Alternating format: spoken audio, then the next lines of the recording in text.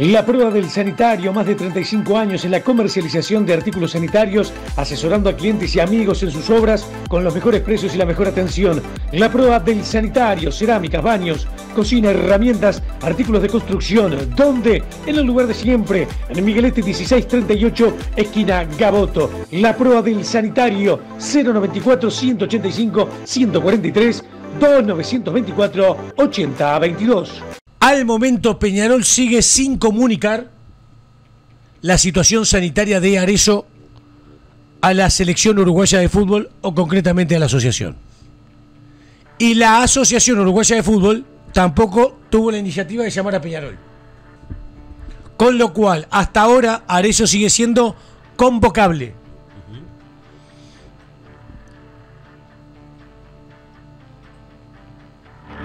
No importa quién, pero alguien importante que tiene que ver con todos estos temas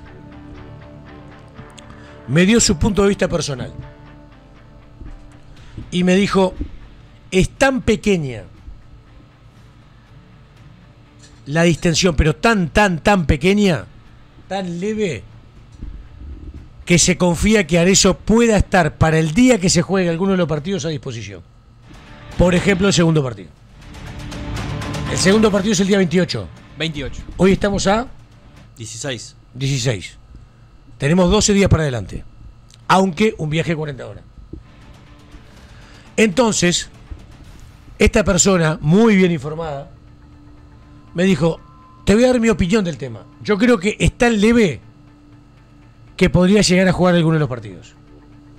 Y además, hay como una expectativa de Arezo de querer, al contrario de lo que piensan los hinchas nacional, de querer estar en la selección. Por eso Arezo pone en su historia de Instagram lo que puso ayer y antes de ayer. Si esto que me dice este buen amigo que está muy bien informado, lo tomo como válido y no tengo por qué no reconocerlo como válido, Arezo hoy está convocado en la lista de la selección. ¿Me explico? Veremos si se termina confirmando o no. Pero esto es la información que manejamos a través de Tirando Paredes de nuestras plataformas. O sea que, si está en la lista de convocados, podría estar el sábado ante River Plate. Porque si está en la lista de convocados, podría estar el sábado ante River Plate.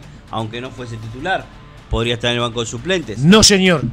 Peñarol no lo va a poner a disposición este fin de semana. No lo va a poner Peñarol. Estoy convencido por lo que, por lo que me he informado, ¿no? Ajá, perfecto. Eh, Se lo vamos a preguntar a Tiago. A Tiago creo que lo tenemos en línea. Ya le se lo vamos a preguntar. Hace unos minutos lo tenemos al pobre Tiago en línea. Pero bueno, no se ha ido extendiendo este tema. Ta- Entonces, reitero, reitero. Abel, lo que se entiende de Abel es que es tan chiquito De Abel no, de Arezo. de Arezo la distensión que se cree que podría llegar para jugar alguno de los partidos de la selección. Entonces, Peñarol no le comunica a la selección. La selección no llama a Peñarol. Sigue siendo convocable.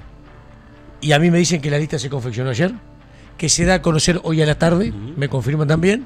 Y en esa lista, en función de esto que estoy explicando, esto no me lo dijeron, esto que voy a decir ahora, pero sí los argumentos que acabo de manejar, en función de lo que estamos hablando, Arezzo va a estar en la lista. Lo que no significa que Arezzo esté a disposición, aunque sea en el banco suplente, para el partido con River. Seguramente lo que va a hacer Peñarol es cuidarlo. Ahora, vos sos Peñarol. Te lo llevan para la selección. Y si estando con la selección se resiente, ¿cómo retorna para los partidos que vienen? Donde vas a tener el clásico y donde vas a tener que jugar de manera simultánea Sudamericana y Torneo Apertura. Dato número para tomar en Sí, cuenta. sí, es todo un tema. Pero esta es la información de Tirando Paredes a- desde la 8, 8 y 55. Se entiende que Arezzo tiene algo tan pequeño que podría llegar a jugar algunos partidos de la selección.